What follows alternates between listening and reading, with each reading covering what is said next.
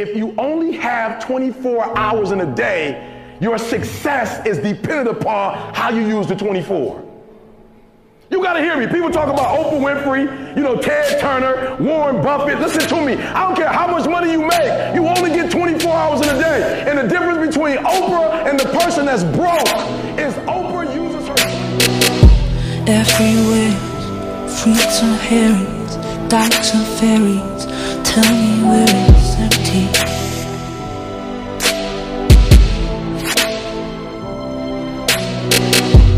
Tax the rich feed the poor till they are no rich no more.